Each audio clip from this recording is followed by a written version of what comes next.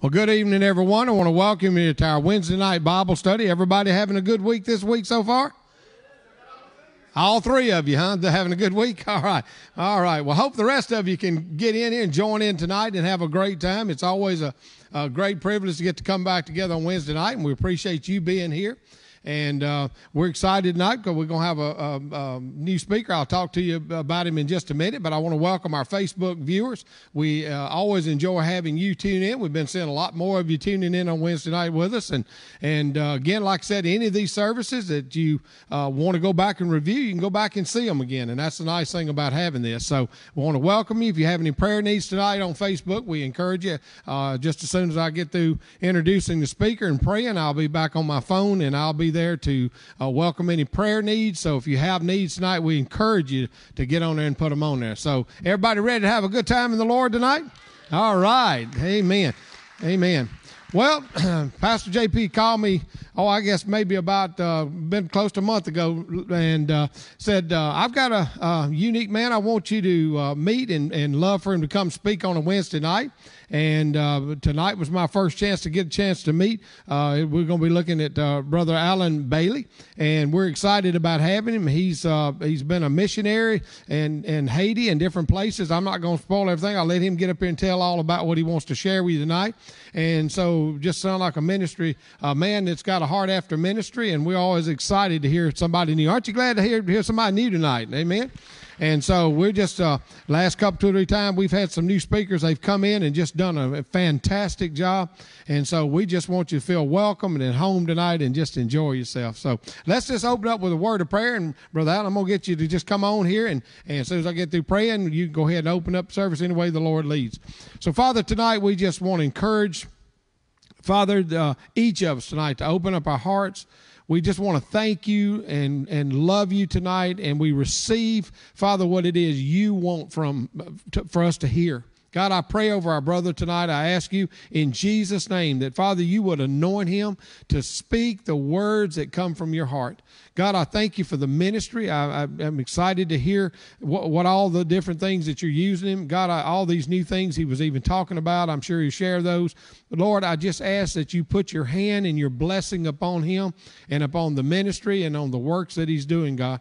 And we know tonight, Lord, that we can always learn something new. Lord, we're asking for fresh manna tonight. We're asking you to do something new in our heart. Lord, we welcome you, Holy Spirit, to come and fill this place and fill this room with your presence tonight, Lord, and fill each of our hearts to overflowing.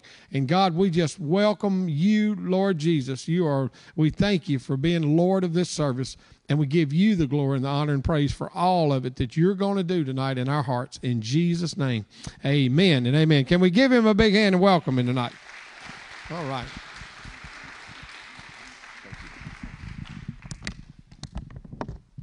Good evening. Uh, this is fun and exciting for me. Uh, I've never uh, got to speak here at Summit, and uh, I'm just getting introduced to the ministries here and to the church itself. What an awesome facility the Lord has blessed y'all with. Uh, if you don't recognize that or if you're that spoiled, uh, this is awesome. And uh, so it's just such an honor to be here with you tonight. Uh, as he said, I have been a missionary to Haiti, but that's just a little bit of my story, and we may get into that. Um, I did that for three years. It's been a blessing in my life, and uh, I just miss it every single day. But uh, tonight I've been told to come with a, a word. And uh, so I really feel like I have a word, um, and it's a fresh word. He used a great word. He said that he wanted it to be manna. Because, um, you know, if you know anything about manna, it fell. You were either able to eat it that day or it went bad. And um, uh, I'll tell you how fresh this word was. I had a completely different word that I was going to bring to you. And this morning during my time of prayer, um, I felt like Holy Spirit said, No, I got something different because you're trying to improve something that Jesus already had perfected. And so uh, you'll feel what I'm saying here in a little bit once you get uh, into the meat of what we're going to talk about. But I'm going to be coming out, uh, coming to you out of Matthew 5. And um, if you know anything about Matthew 5, this is the Sermon on the Mount. This is whenever Jesus is giving uh, his big uh, presentation, I guess, if you will. But um, there's a place here that he says something that's always caught my, uh, my eye, my ear, whenever I would hear it. And so, if you will, I want you to look with me uh, here where he's talking about salt and light. So that's going to be Matthew 5 and 13 and 14, okay? Uh, if you have your Bible, I'll, I'll give you a second to get there with me. But here's he, Jesus, he's, he's always taught in these stories so people that could understand. And um, I've always loved that about Jesus. I don't know if you love that about Jesus, but I love that about Jesus. Is he always put the corn down where the animals could get to it, or the hay where the cows could get at it. If you know that farming term, uh, sometimes there's these places where you put hay in, and if you don't shake it, if you don't jiggle it enough, the hay stays up top whenever it needs to be down bottom where the animals can get to it. And Jesus always made sure he put it down there where everybody could get to it. And uh, as a missionary in Haiti, one of the things I always had to do was make sure that it wasn't a very complex message. It was a very simple message, and this is the message Jesus loves sinners. For real. Like, there's nothing else, there's no other strings. Jesus loves sinners. He loves us all. And, uh, doesn't love me more, doesn't love you less. Jesus loves sinners. That's the simple message, and that's the real message, and that's the only message, is that he loves sinners. And we need to get that out. And so here, in Matthew 5, Jesus is saying, Hey, I want to tell you two things that you are you're salt and you're light. Okay, so I'm talking to you about being an effective witness in the marketplace. That's my official topic tonight for your note takers if you want to put that at the top of your notes tonight. Being an effective witness in the marketplace. That's the official term and uh, topic tonight. Be salt, be light. Okay, I'm done. That's it. Seriously, it's that simple. Jesus said, Look, you are the salt of the earth. But what good is salt once it loses its flavor? You throw it on the path and it's trampled. Now, if you know anything about salt, salt does three things salt brings flavor to things, salt will melt things. If you throw it down on a path, it melts ice for all of my snowbird friends in the audience. And then it also cures. Now, see, we always like to think about our flavor. We like to think about how we can be so uh, hot in the spirit that we can melt the coldest hearts, but we don't ever think that maybe God has brought us into a place to cure something, to preserve something. Salt cures, and he says, You're the salt of the earth, but you're not any good if you lose your flavor. We're just going to throw you in the path. We're going to trample on it. And then he says, You're the light of the world, a city on a hill that cannot be hidden. Man, who takes a, a, a, a lamp and puts it underneath a bushel? No, you put it on a lampstand so everyone in the house can see. And so, likewise, let your light shine so that all men can see to bring glory to your Father in heaven. That's what he says for the rest of that passage. I'm paraphrasing, but I'm real close. So check this out. He gives you this model. He says, Do you want to be the light of the world? Well, start in your city on a hill. And matter of fact, not just there, start in your house by letting your light shine on the lampstand so that everybody in your house can see your light. Then you can let your light shine to all men so that the world can see. He takes it down, he says, world level responsibility, city level responsibility, home levels of responsibility. And he says, let your individual level responsibility light shine. He takes it from being the light of the world to being a city on a hill to being a light in your house to being your individual light so that all men can see your light so it brings glory to your Father in heaven. You feel that? That's how you be an effective witness in the marketplace. You let your light shine so that all men see, so that it brings glory to heaven. And you don't worry about the world or the city, because if you do that in your home, it becomes a natural outcome of who you are. See, love isn't what I do, love is who I am, because Jesus doesn't love, He is love. And Jesus loves sinners. See, that's, that's, that's the heart of the gospel. And if you don't feel that heart of the gospel, then the gospel's never, real been, never really been real to you. Because that idea of Jesus loving me has to be light in my life that shines so that all men can see. Because if there's not something different about me, then I'm just in monotone. I just look like everything else and it doesn't do any glory to God. Why did Moses shine to the point that he terrified the people whenever he came down off the mountain? because he'd been in the presence of God so much that the glory of God shone off of him and it terrified them. Man, I want to have that kind of glory that whenever I walk into a place, they're like, man, whoa, hold on. What's up, dude? Like, do you want to be that place with him? So that you, whenever you walk into a place, the atmosphere changes from darkness to light because that's what being a lampstand in your home does. That's how you become that city on a hill. See, a city is a group of individuals who will come together and say, hey, there's something different about us. That's your tribe. That's the people you roll with. I want to be the light of the world, a city on a hill. Well, take it to your home and get your family to all light their lamps first, and then your house is shining, and then you bring it in, and you look down your street and you're like, oh man, look, Bob and Sue have got their lights on too. They're shining too, and next thing you know, you're a city on a hill that can't be hidden. That's why community is important for the people who don't think that you need a pastor or a church or a shepherd. No, no, no, you're missing it. You got to be a city on a hill. But how do I do this? Now, see, here's where Holy Spirit hit me this morning, okay? Now, maybe you've never had Holy Spirit just roll, just punch you in the gut. Holy Spirit did that to me today and said, because what I was going to say is, is whenever I'm dealing with a difficult customer at my job, I just go love, joy, peace, patience, kindness, goodness, faithfulness, gentleness, and self-control. And when they're yelling at me, I'm love, joy, peace, patience, kindness, goodness, faithfulness, gentleness, and self-control. And I was going to ad nauseum just keep saying love, joy, peace, patience, kindness, goodness, faithfulness, because that's what, literally what I do all day. I'm not joking. I wish I were. I work at a place where the phone never stops ringing. God, thank you for blessing our business with so much business that the phone never stops ringing, but that phone never stops ringing. And I got to have it picked up by the third ring because I'm in sales. That's what we do.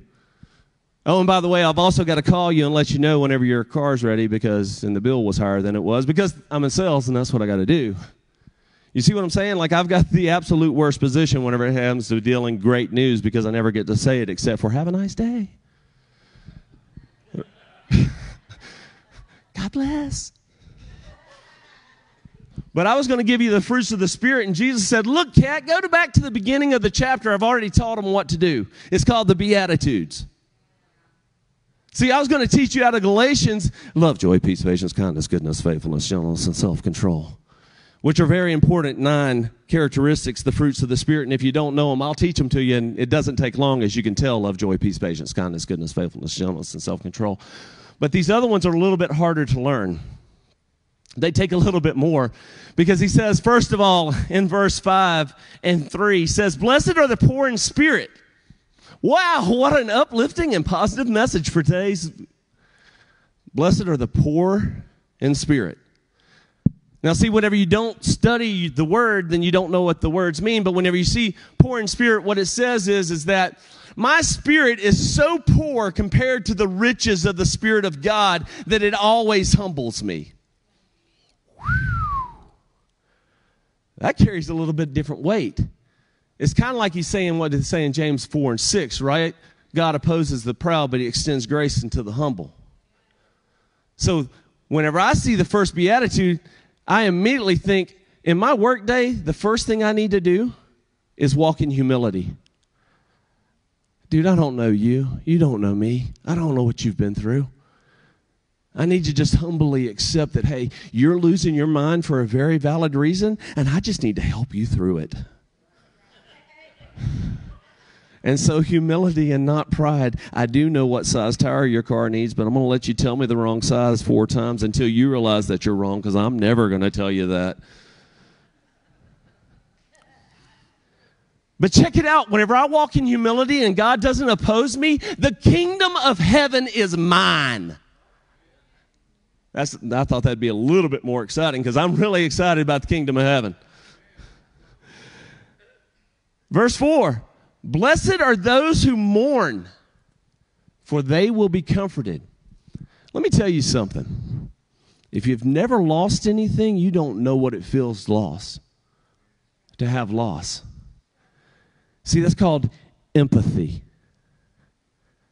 Because I know what you have been through. So I know what it's like to have had a flat tire or a car that's a piece of junk and that it would barely go down the road. I know what that feels like. I can empathize with you. Let me help you through this situation. As I walk in humility before you, saying, I'm not better than you just because I'm in a different station of life or season.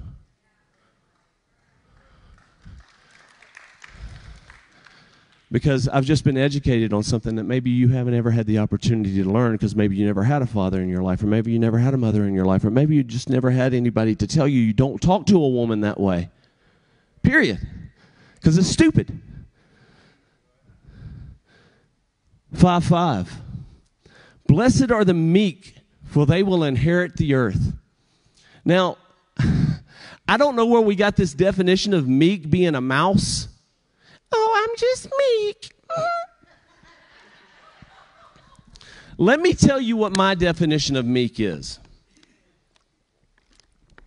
Meek is the river. What? What?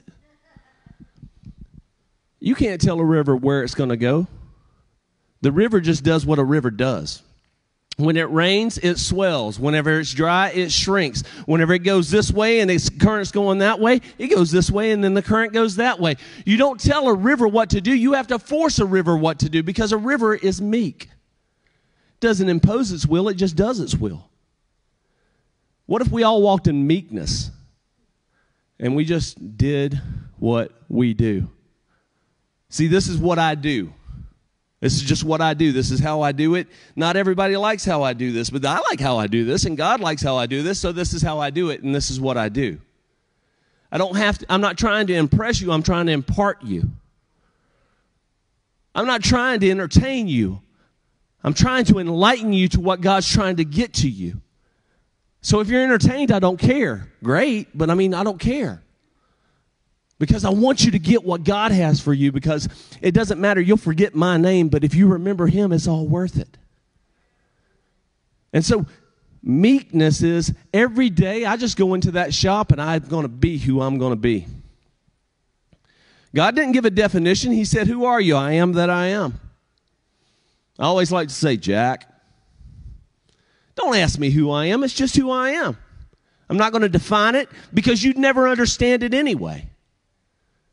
That's what God told Moses. You'll never comprehend me. How would I even start to explain myself to you? Well, if I'm created in the image of God, just wait with me here. This will develop, okay? But if I'm created in the image of God and I'm a carrier of his image, then I should never have to define that image. I just walk in that image. I'm going to leave that with y'all. Five and six.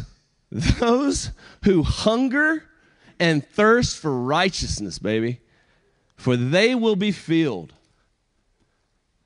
Catch this righteousness. When you take that word and you break it down from Strong's, it says literally doing justice according to godly standards. Now, what if we all just wanted to do what was just in our workplaces? Not what would get me promoted, sorry. Didn't mean to step on those toes. Not that would make me look better and the other guy look worse. But what if I just did what was just every day toward my coworkers and then to my customers? See, one of the greatest compliments I ever get is whenever somebody comes to me and says, Hey, you know, I went to this other blah, blah, blah, blah, blah. And because I'm a single mom or I'm a elderly person or I'm a teen who doesn't know, you know, that cars don't lean like this when you drive them. I mean, the greatest compliment somebody can tell me is, hey, man, I really feel like you did me right on this deal, even though it was more than what I expected whenever I walked in. Like, people don't mind paying the value of something. I learned this because I'm in sales. So give it to them at the value, but don't inflate it because you can take advantage. Because as a Christian, Christ follower, whatever the term is today, your testimony depends on what people say about you, not about what you say about you. And the worst thing I hate is, man, doesn't that dude go to church with you? Doesn't that dude, isn't he in your Bible study? Doesn't he volunteer with your kids at the church? What? Why? you always worry about those, right? Right? Hey, doesn't so and so go? Yeah. Why? Oh, they're really great. Oh, yeah, yeah, yeah. They're really great. Yeah. You, you never know what's going to come out of people's mouths. But what about whenever the testimony's not, hey, they're a great guy, but they're, man, like I just saw him like pull out in traffic and jump out of his car and like beat, jump on top of his hood, and I was like, you know, that wasn't me, right? I mean, because we're all not perfect, so let's not start throwing the stones, right? But we do got to guard our testimony. And I don't think a lot of us do a good job of that in the marketplace, in our workplaces, the places that we're not here the other whatever many hours of the, the week. You know, I mean, some people, those the hours where you're not putting on the mask to make everybody think everything's okay in your life, like the place where it's literally hell for you to go to every single day because you hate it. But you have to because bills don't pay themselves. I just want to be just with people. Like for people to honestly say at the end of the deal, hey, he did me right, or he did me as good as he could in the situation that we were in. How about number seven? Blessed are the merciful because they'll receive mercy. Have you ever been able to give somebody mercy in your job place? I see people do it all the time. Every time I go to a checkout and I don't have that exact change because I don't carry, coins anymore, and they're like, oh, don't worry, I got that six cents. Get it? Six cents. But anyway, they say, here, I got that. Well, I know it may not seem it, but that's mercy. Even in that small amount, that's mercy.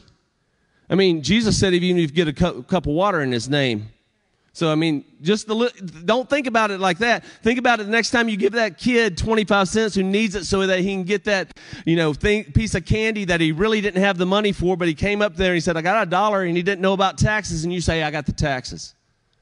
Just think about that. That's mercy. And if you show mercy, mercy will be shown to you whenever you need to go to the tax auditor and you say, hey man, I don't have this money. I don't have, you know what? We're going to forgive that. I don't know. Just mercy. You don't sow so that you get it, but sometimes you get it because you sow. Do you understand? That's mercy. That's somebody coming in and not having the money for the tire, but me trying to go out there and digging through all the used tires I just pulled off of somebody's car to find one that we can patch just so they can get through to next week so that they can come in and buy the cheapest tire I have. That's mercy.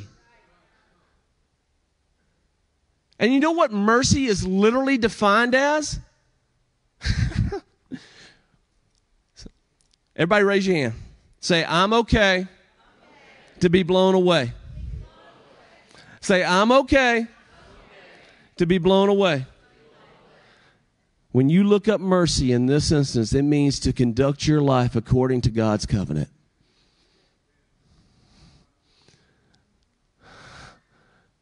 Let that sit for a second. Whenever I conduct my life according to God's covenant. That's mercy. Everybody breathe. That's heavy, right? And that's okay, right? Because I want to be merciful, because then I'll be shown mercy. So, in other words, that whenever I conduct my life according to God's covenant, with other people, then that in situations where they're undeserving of me uh, operating in God's covenant. Do you feel what I'm saying here? That whenever I choose to operate in God's covenant versus what I can do because either I have the authority, the ability, or the authorization, I choose to conduct my life according to God's covenant, and God's covenant is one word love. Woo! And he doesn't love, he is love. Blessed are the pure in heart, verse 8, for they will see God. I want to see God. I want to see God. I want to see God. Man, I want to see God.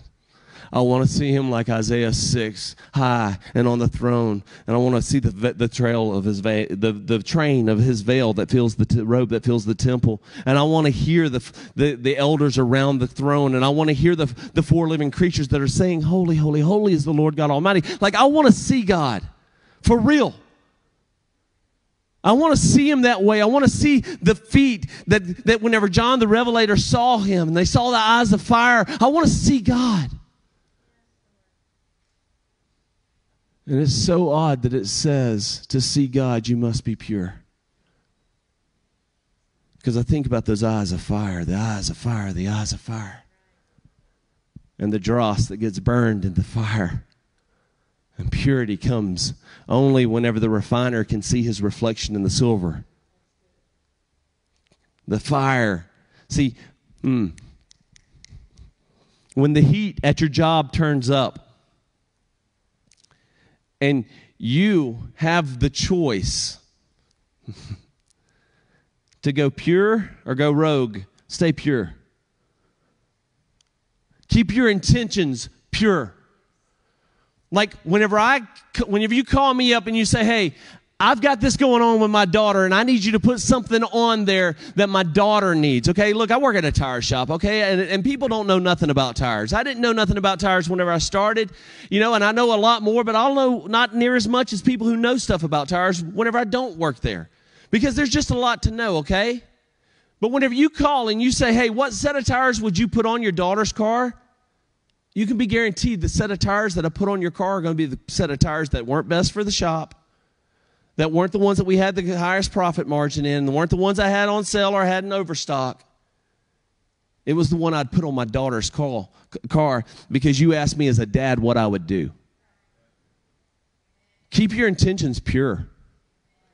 Don't sell somebody something they don't need just because you need a, the, you know, an extra three horsepower on your outboard motor next season.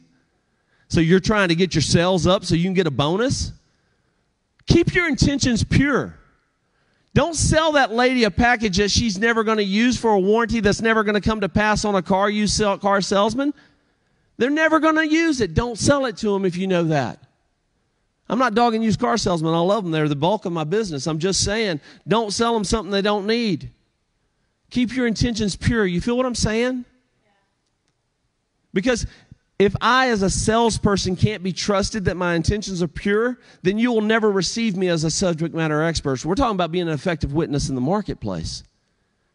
If you come into my place, I've got to be either the subject matter expert or find you one. Because your life is at stake. I mean, does no one feel that way about their automobile if you're driving it? Right? So, I mean, I take that responsibility big.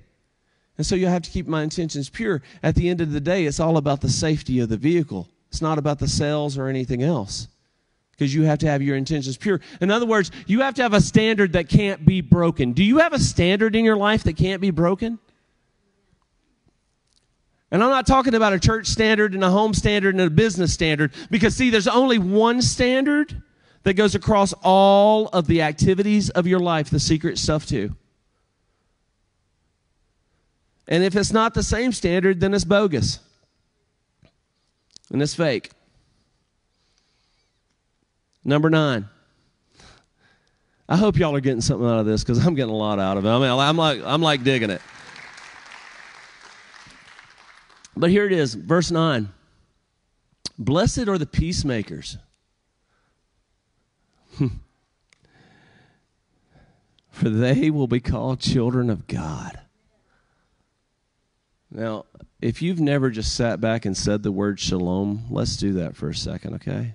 So I just want you to take a deep breath in, and as you breathe out, I just want you to go, shalom. Now, see, you don't understand, but you just authorized peace to come into you. And see, peace, according to what I've been taught, is like water that goes into every broken place, every crack and crevice. Like when you say shalom, you confess shalom over your life. God's peace comes in and it fills every empty spot. It just keeps filling and filling and filling and filling until you finally are there. And then you have shalom. Perfect, unending peace. And it comes every day. You have to you see what I'm saying? Like you have to do this. But when you are a peacemaker, you're a child of God. Man, if that don't set you on fire, your wood is so wet. Because, man, to be recognized as a child of God because I bring peace into somebody's situation. If you've never had a blowout on the side of the road and didn't know how you were going to get back to wherever Louisiana, whenever you're stuck in wherever this is, Alabama, and your kid's got a dance recital tomorrow afternoon that you absolutely positively have to be at, and your tire cannot be found anywhere, let me tell you, you need somebody who can speak some peace. You need somebody who can tell you the things that nobody else can tell you. Well, let me tell you, that's the reason why Jesus was able to do the things he was able to do, because he was able to tell those cats things that nobody else could tell them. They'd come to him with problems, and he would come at them from perspectives that nobody even saw because he saw it in 360 degrees. They only saw it in their point of view.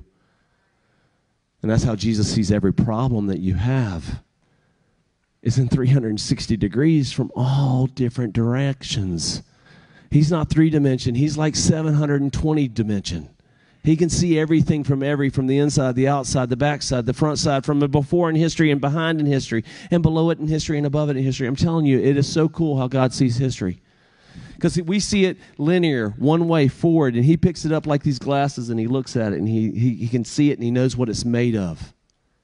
And that thing that you didn't think mattered 10 years ago, whenever you fast forward and you get to that place in 10 years, and you're like, whoa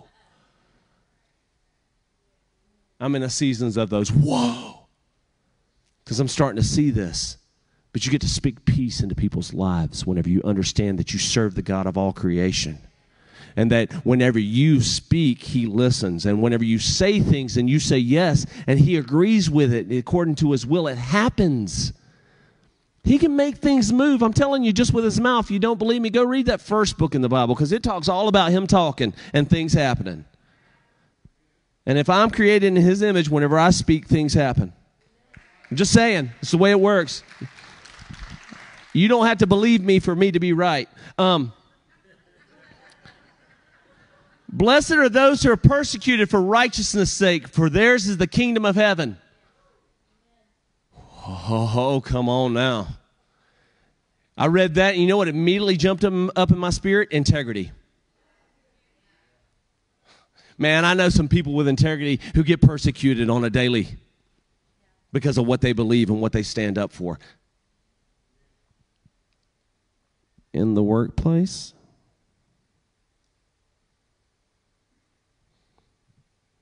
on the assembly line. Because, see, it's a lot easier to go with the flow at work. Trust me.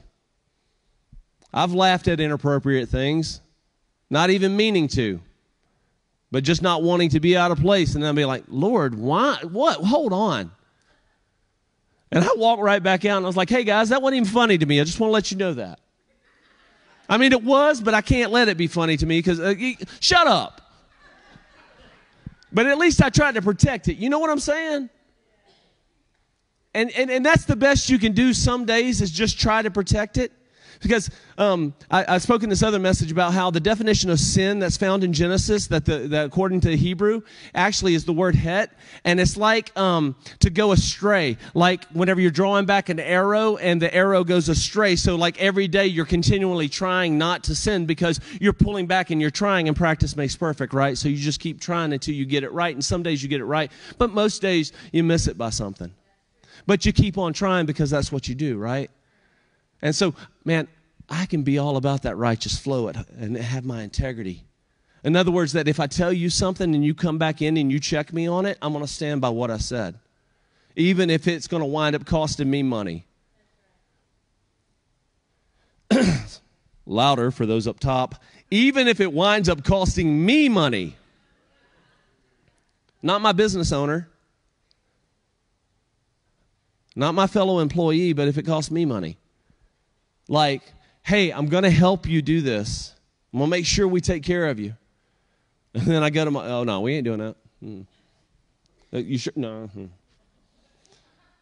All right, let's see what we can work out here. Um, And then I kind of go into Michael Scott mode. You know, I can't give you the laptop, but I can give you a case for the laptop. So let's see what we can do here. You know, I'm trying to work with them, trying to help them get them out of their situation. But because my integrity matters to me, like it really does. Because if I tell you something, you got to be able to bet on that. Like you've got to be bet on that because like in a lot of cases, whenever I give somebody my word, like their family's riding on that to like Orlando for vacation the next day. Yeah, your brakes are good.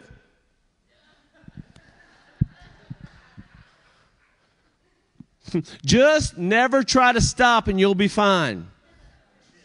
You'll get there faster, I promise. How much is your integrity worth? Is it worth that bonus so that you can get that deal?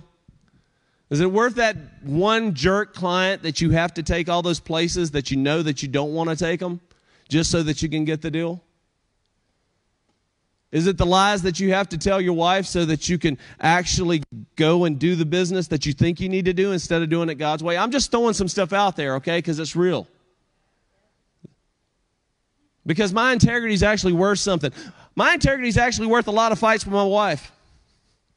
Ask her. She's right back there. She'll tell you. Like, I'll say things and then I have to back them up. And she's like, why you got to go out now? Because I said I would. And I do. You know, I tell you, you can call me at midnight and I'll be there for you. Call me at midnight, I'll be there. I'll be on the phone in the other room at 3 a.m. talking to your kid for three hours so he doesn't commit suicide on the streets of Birmingham. I'll do that because I said I would. I mean, no, no, no, no, no, no, no, no, no, no, no. Don't clap that because that's real. That's really something that I do. I don't need clapping for it because the reward was the kid didn't kill himself. So I'm good with that, okay? And God's even better with it. I just using that as an example, like we really got to stick by those words because sometimes people are really counting on those words that you throw out there. And there's so many people in ministry that have made promises they didn't keep. And then we wonder why when we make promises in the marketplace and we say we're a Christian, people are like, whatever. Like, I'm tired of that. I'm, I'm, tired of that. Like Paul, he wrote, he said, like, no, don't even look at that example that Christ gives you. Look at my example because my example is going to be so good you never even got to look at Christ, baby, because I'm going to be gold. What if we lived our lives like that? Like, I want to be the example that people look up to. Well, because we're worried about people examining our lives. I get it. I get it. I get it. I get it. I get it. Because it goes back to church hurting and church. And it goes around this circle and people hurt people, and hurt people, hurt people. And I get it. But at some point, you got to decide I want to be light more than I want to be hurt. At some point, you got to say, I want to be salt more than I want to be hurt. I want to be healed more than I want to be hurt. I want to be whole more than I want to be hurt. I want to be complete more than I want to be broken because some people walk around in this thing of being broken and they never get to the place of brokenness. And there's a difference. Broken says I need to be fixed, and brokenness says I am broken before you, God. I'll never be fixed, and the only way I am is if you perfect me. Amen. That's brokenness. And when we walk in this place where all we want to do is make sure our integrity stays there, we can recognize when somebody's walking in broken but can walk out brokenness. I see it all the time see a broken person walk in, have a conversation, they walk out in brokenness and they're complete because whatever was on them is off of them. We got to do that. And you can do it right where you're at without freaking people out, too. You really can. Here's the last one. And this is how I'm going to tell you you can do this without freaking people out, okay? Blessed are you when people revile you, persecute you, and utter all kinds of evil against you falsely on my account. See, because whenever you take that stand in the workplace, you're going to need to hold on to that last one. Because, man, every joke by every Joe is going to come out. They're going to talk about your walk, about your talk, about what you used to do, about what you still do, about how you slipped up the other day whenever you hit your hand with a hammer. They're watching. They're going to be looking at you and they're going to just tell yeah, yeah, big Jesus boy. Yeah, yeah, look at you, look at you. And if you go in there week one, guns a blazing, Jesus on your mind, telling everybody about it, throwing out the gospel tracks everywhere, Put in your Bible where they'll see it. You're going to burn them out and they're going to be over with you quick. And then whenever you slack off, they're going to say, What happened? Lose your fire? But what if we did this? What if we were just consistent? What if we just became a city on a hill? What if we were the light of the world and the city on a hill and that we took our light into our homes so that our family would see it? You feel where I'm saying? And let our light shine so all men can see. Then we would bring glory to our Father in heaven. See, instead of putting the Jesus fish on our business, why didn't we put the Jesus fish tattooed on our hearts? Take away our, our, hearts of stone, give us hearts of flesh. And then whenever we deal with people, we say, How would Jesus handle this idiot in front of me? And then you say, Holy Spirit, forgive me. No, no, I meant the idiot in front of me, but yeah. Okay. Love, joy, peace, patience, kindness, goodness, faithfulness, gentleness, self control. And then you humbly come to him. You can speak in authority, but be in meekness. Hey, I really do know what I'm talking about, and I'm here for your best interest. A lot of times I'll tell people, I'm your advocate on this side of the phone. I'm the person representing you to the mechanic, to the tire tech. You tell me what you want them to know, and I'll tell them, and I'll defend it for you. No, it really is squeaking, she said. But if we want to be salt and light, if we want to be the light of the world in a city on a hill that can't be hidden, then we really do need to make this something personal and individual to each one of us. We need to let our lamp be on the lampstand in our homes, but in our workplaces. Because, see, I think a city on a hill is also illuminated with businesses because, see, the homes aren't the only thing in a city. Matter of fact, cities are defined by businesses. It's a place where business happens. A city is a place where commerce and business happens. So I think that's one of the reasons why the translation says city and not village or town. It's a city on the hill. In other words, it's a metropolis, it's a big deal. It's not just homes, it's businesses. Hey, so Christian businessmen who think that you have missed the call of God in your life because you're out there and you're turning a wrench or you're you're fixing ACs or you're doing whatever it is that God has called you and gifted you to do as a king in the kingdom of. Let me free you from the notion that the only place you can serve is up here on the pulpit. Because I promise you, every day in your place, as that guy who doesn't know the Lord is looking at your life, you're ministering. Every time that single mother doesn't know how she's going to pay the bill, but she sees you, lady who's in her place all the time, she just knows there's something about you. One day she's going to say, Hey, I don't know what it is, but can I talk to you for a second? because I see you and I've seen you for a while and there's something there and I just need to know I got this going on in my life and is there any way you can help me? And Holy Spirit's going to pop that. And then you'll have that opportunity. But if you don't let your light shine so that all men can see, glory is never given to your Father in heaven. See, God's a God of process. He shows us things all the time. And when Jesus was talking to these parables of people on the Temple of the Mount, uh, on the, uh, at the parable uh, here at the Sermon on the Mount, He's showing them the big picture. Hey, if you want to be the light of the world, be a city on the hill. And it starts in your home individually with you. That way, if you'll just focus on shining so that everyone who meets you, all men see, so that all men can see, so if you'll just focus on every person you meet personally, don't worry about streaming, don't worry about uh, you know being on Twitch or any of the other stuff. Just the people you meet on a daily basis. I'm just talking real simple, okay? We're talking about like before first century stuff, okay? Jesus, okay? He's just saying just to the people that you meet. If you'll just be light so that all men can see, then you'll bring glory to your Father in heaven. Now, sometimes that glory that you bring to your Father in heaven will come back down to you and then you'll realize, hey, I'm supposed to do this to more pe- for more people, and and you'll get vision.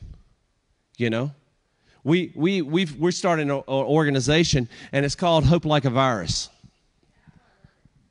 And the, the, it's real simple. Here's our creed: do good everywhere, always. That's it. If we would just focus on doing what Jesus told us to do. Literally, if we would just do what he said and that's it, we'd be okay. The world would be okay, I promise you. Like, we wouldn't have to have all the other junk if we would just do what he says. And it was real simple. Whenever they asked him what the most important commandment was, what he come back to them with? The Shema. Hear, O Israel, the Lord our God, the Lord our God is one. You should love the Lord your God with all your heart, with all your mind, with all your soul, and every fiber of your being. And then he added something to it because that's how Jesus was. He did it to Passover and he does it here. And he says, and equally as important, you should love your neighbor as a self. That's where we mess it up because none of us know how to love ourselves, so we don't know how to love our neighbors. Because we know who we are when we turn off the lights and we go to bed. And that's why we can't let our light shine for all men to see, because we can't see it. And that's messed up. I hate sitting in the dark by myself. And I bet a lot of you have done it. In your car, after you drop your kids off at school, sitting in your car, making that hard decision to go on into work or to go somewhere else, anywhere else, but there or home. See, you don't have to sit in the dark because Jesus is there with you. And I don't know how this just became an evangelistic message, but it did. And if you've been sitting in the dark, Jesus wants you out of the dark. And he don't care what kind of sinner you are, he just wants you out of the dark. He'll figure all that out. We don't have to. Really, for real, we don't have to, okay? Like, he's got it, I promise. But, like, if you don't know Jesus, he totally wants you to. And he's been dying your entire life. Literally, he died for you. I mean, seriously, he's dying to meet you and has been. But your entire life, He's been waiting to meet you. And I, and I just think that I won't be light in this moment if I don't share that with you. That there is an uncreated God who loves you so much that he not only sent his son for you, but he didn't send him to condemn you, but to free you through his life. That's what John 3 16, 17 is about. Is that if you'll just believe in him, he doesn't condemn you, he brings you in. And see, in a world where everybody's telling me what's wrong with me, I just want somebody to bring me in. And Jesus wants to totally bring you into what he's about.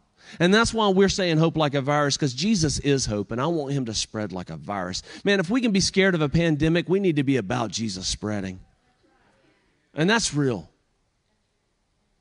And so here in this moment, if you want to be an effective witness in your marketplace, and your marketplace is the whether you're a nurse or a doctor, or you turn a wrench, or you're at a sales cashier spot doing retail for every tourist that comes to Tanger, like if that's you,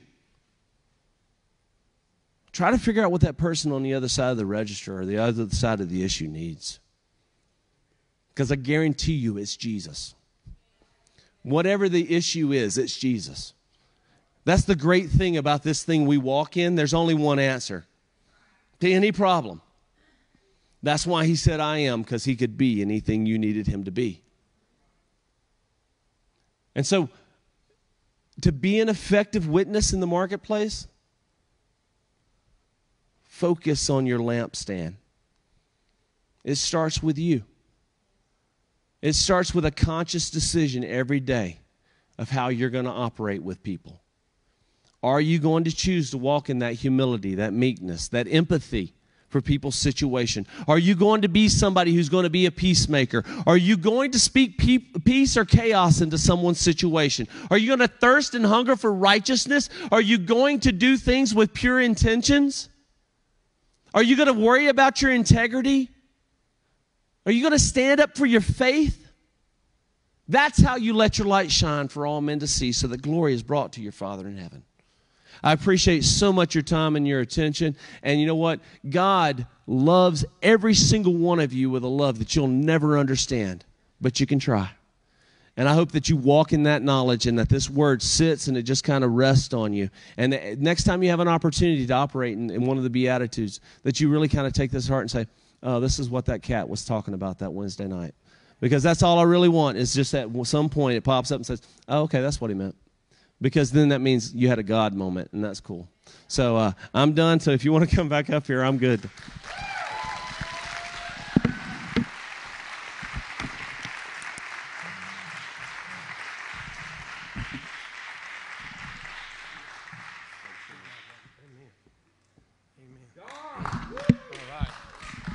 I bet Adam's in the house. All right. Yeah. Man, wasn't that good? Oh, praise the Lord. You know, one thing, eh, you know, of course, I mean, I, I appreciate Brother Allen because he's in the service right position like I am, at, you know, and, it, it, you know, sometimes you're tested well, let's say this. A lot of time when we when we come into the building, everybody on Sunday morning, let's just be honest, is probably on their best behavior. They're coming in with smiles on their face, but when you meet them on Monday morning, it's a whole nother world. Do you understand what I'm saying? That same person that smiled and loved you will, will want to hate you in Jesus' name, you know, it, because you told them some bad news about their car or whatever. In other words, the rubber meets the road, as he was saying tonight, in the workplace. Are you following what I'm saying? That's where the real you can come out. That's where the real you gets out there, and that's where people see. You know, he, he said something reminding me that this week I had a I had a little young lady, one of our parts lady, kept coming in, and and and the Lord kept speaking in my heart to speak a word to her. I didn't even know what I was going to say to her. And I and I just finally I looked at her. I said, I just want you to know that I, God want, He's telling me something about you. He hadn't even told me what it is, but I know the minute I start speaking to you here, He's going to share with me what it is that you need. And I started sharing with her, and first thing you know, she's tearing up and she's crying. And oh my gosh, I didn't. How did you know all that stuff? Well, anyway, I started talking to her, and, and bless her heart, she had, she had been hurt at church and, and and just saw the hypocrisy and all the stuff, and she was looking for something real. And she came back this week, and she told me, she said, I went back to church for the first time in a long time, and she said, before I walked out the door, I was crying and weeping. It was so good to be back in God's presence again. You see, I probably would have never gotten a chance to witness to her if I hadn't been in the workplace because that's where she was. It, it, he says, you, you cannot believe the desperation that walks in our door. Uh, my car's broke. I don't know what I'm going to do. I have no food. I, I, I have no money. It, and, and it gives us an opportunity. I get to witness more in the workplace than I ever have worked or witnessed in the church. Are you following what I'm getting at? God has put you out there. Don't be ashamed of what you're doing. See, for a long time, I kept thinking, well, I don't stand this, God. I'm a pastor. Why in the world am I out here working over here in a business, greeting people every day? Because you know why? Because I can pastor more probably in that repair business than I can in the church. And I can be there more. He's, a, he's that's why God has put Brother Allen up here in Sweat Tire. I sell tires too, brother. I know. I sell uh, I sell repairs, and it's hard when you come in and a guy comes in thinking two or three hundred dollars is going to fix his car, and a thousand dollars later you still ain't found the problem. You, you, understand where I'm going? At? And he's got, oh my God, what am I going to do? How am I going to do this? Brother, don't worry. We're going to help you out. We're going to do whatever it takes. Sometimes I have to cut the labor to nothing and just say, you know what, we're not going to make any on this job because we want, I want to help you out. That's the kind of thing that we can do and have integrity on the job. You can help people in every position. Brother, I appreciate this message tonight. I tell you what, it helped me. It, it, it really did. It made me appreciate it made me appreciate the fact because I have asked God many times, why am I here, Lord? And I keep getting reminded over and over and over and over, son, you're out here where the people are. You're out here where the, where the people are hurting. People are dying and they're hurting. I heard him say something here a while ago. He said, "Some of you, and I'm gonna, I want to, I want to close with this. And I, I to, if we go past our Facebook, I want to thank all our Facebook people from tuning in tonight. But I want you, everybody, to stand here together as we close. You know, he he made an opportunity to say something tonight. And David, if you can put on some music back there, just real softly. But I, w- I want you to I want you to think about this. If you are in that dark place in your life, I don't want to leave this place without giving you an invitation to let Jesus get you out of that dark place. Because see, that's where the rubber meets. the road. Or maybe you're here tonight and you said, you know what, my witness, because there's been times, uh, there's been times the phone would ring and it would be somebody I know is fixing to call and fuss, and I'd want to go, ah, I don't want to talk to. I'm tired of this phone. I want to slam it, and you pick up your performance auto. Can I help you? But see, God, maybe you've been in that place that your witness hasn't been very strong. Or maybe you've fallen in that dark side at work and you've gotten into a pattern that you feel like is not bringing Jesus glory. I want to be able to bring Jesus glory wherever I am. That's where my heart is. God, I pray that when I walk out of a business, that when I come into a place or when I walk into a restaurant or when I go into a place, people can feel the presence of the Lord walking with me. I don't want Jesus to have to be ashamed of the way I act during the week. And maybe that's where you've been. Maybe you're in that place right now and you're saying to yourself, Brother Don, that message really spoke to me tonight. I want us to close our eyes just for a minute. If you're here tonight and you've you've said, "Man, I'm in that dark place." First of all, I want to deal with this. You're in that. I'm in that dark place, but I know Jesus is knocking at my door and He's speaking to me tonight. And I want Jesus to come into my life and change that place I'm in. Would you just raise your hand, slip your hand up wherever you are? Don't be ashamed. Hands, oh man, hands going up everywhere. Hands are going up everywhere. Thank you, Lord. I want you to pray this prayer tonight, and I want it to come from your heart. I can't change anything in your life, but Jesus can change everything. And if you truly mean what you're saying tonight, and let me let me tell you, sometimes I think we say things too lightly. If you really truly mean what you're saying tonight, Jesus will change your life. I want you to pray this prayer, and I want everybody else to help them here tonight. Okay, let's just let's pray with them here tonight. I want you to pray this prayer, Lord Jesus. I've been in a dark place in my life. I'm in it now. But I know you can deliver me. And I'm asking you tonight, Lord, come down here and get me, Lord. Rescue me. Save me. Forgive me of my sins. Pick me out of this dark place, Lord. And Lord Jesus, I give you my heart my life, everything. And I'm asking you to be my Savior and Lord from this day forward. And Lord, I know because I've asked you, you promised me you would not turn me away. Thank you, Jesus, for saving me. In Jesus' name. Amen. Amen. Let me tell you something. God loves you tonight. He loves you. And I I, I believe tonight some hearts have been changed. But I want to, one other thing before we dismiss. And I know we're running just a tad long, but I feel this in my heart. Maybe you're here tonight and you're in a business, you're in a place, you're in the work field, you're in the workforce, and you want your light to shine for Jesus. I want you to just raise your hand tonight. I want to pray for you before we leave here. I want my light to shine. I, or maybe you're even in the point of saying, My light hasn't shined, but I want it to. I want you to hold that hand up and reach up toward Jesus tonight. Lord, I pray over every person that's got their hand in this place tonight up. God, I just want to thank you. I pray over every person that's here that, Lord, we will be a people that light will shine in the world, God. That people will say, I bet I know one person that knows Jesus. That guy does because I see it in his life every day when I work with him. God, I pray tonight that when people look at our life and people look at our heart, they will know that we love you by the light that shines through us. He said tonight, Lord, about the city being up on a hill. We don't put a city on a hilltop and put a basket or cover it up or light and cover it up, Lord. We let it shine that all men can see. And I pray tonight, God, that there's many lamps and many lights in this room that are changing this community in this world, God, for your kingdom.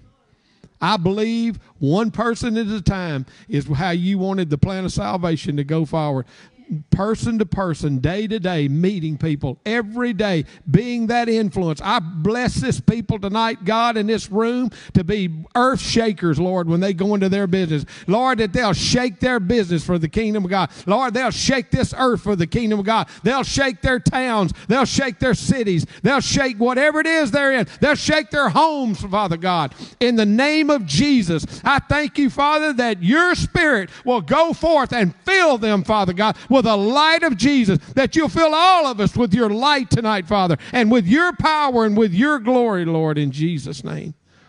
That's what I pray over everyone in this room tonight, that we become the light of the world. You are the light of the world, but may you shine through us, Lord Jesus. May you shine through this group tonight. I praise you for my brother that brought such a beautiful message tonight, God. I thank you for Brother Allen, God. I thank you for all the things. I thank for all the things he's done in the past, the missionary work and the stuff to Haiti and different countries. But God, he spoke, he spoke truth tonight. He spoke your word, and God, it, it affected me tonight. And I'm, I bet it's affected many in this room. And I thank you for it. And Father, I pray your blessings upon this group as we go now. Dismiss us tonight with your blessings and your glory. Go with us, and Father, let us be full of peace. Let us be full of peace and full of your